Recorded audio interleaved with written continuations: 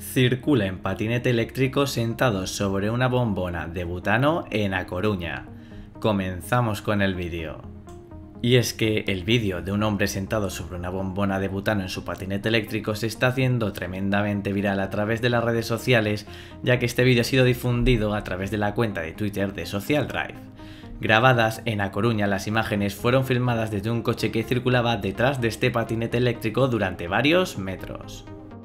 Además, se puede observar en el vídeo cómo la persona que va en el patinete eléctrico colocó lo que parece una toalla u otra prenda rosa sobre la bombona de butano para poder sentarse más cómodamente y calza unas chanclas abiertas por detrás. El protagonista del vídeo circula por O Castrillón, en la zona del Instituto Monte das Moas, haciendo varios giros y pasando incluso por encima de un badén.